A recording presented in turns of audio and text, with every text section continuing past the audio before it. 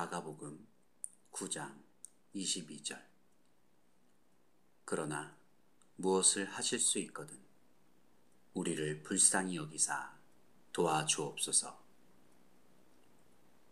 변화산에서 정상의 시간을 보낸 후 우리는 급히 현실로 돌아와 현실의 문제들을 겪게 됩니다.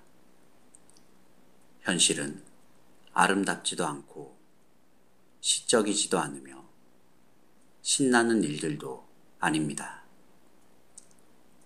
높은 정상에서 느끼던 희열은 이제 계곡의 지긋지긋한 일들로 메워지게 됩니다. 그러나 바로 이 계곡에서 우리는 하나님의 영광을 위하여 살아야 하는 것입니다. 우리는 정상에서 하나님의 영광을 봅니다.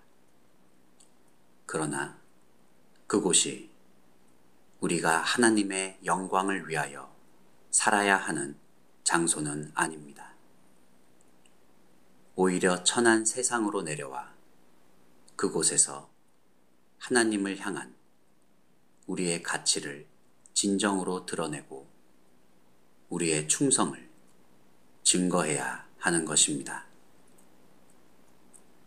대부분의 사람들은 마음속에 자연스러운 이기심 때문에 영적인 마음으로 들떠서 남들이 알아주는 일들을 할 수 있습니다.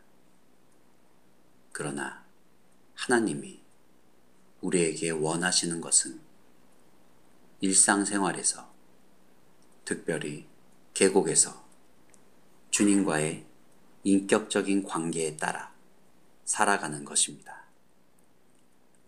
베드로는 변화산 정상에 머물기를 원하였습니다. 그러나 예수님께서는 제자들을 데리고 내려오셔서 계곡으로 이끄십니다. 그 계곡에서 비로소 그들은 산에서 본 환상의 의미를 깨닫게 되는 것입니다. 무엇을 하실 수 있거든 우리 마음속의 의심이 뿌리채 뽑히는 곳은 낮은 계곡입니다. 당신의 삶을 뒤돌아 보십시오. 당신은 예수님이 누구신지를 알기 전까지 주님의 능력에 대하여 의심하였을 것입니다. 그러나 정상에 올랐을 때 당신은 무언가를 믿을 수 있었습니다. 그러나 계곡에서 일상적인 일들과 부딪힐 때는 어떠했습니까? 당신은 당신의 거룩의 체험을 증거할 수 있을 것입니다. 그러나 지금 당신을 모독하는 일들에 대해 어떻게 반응합니까?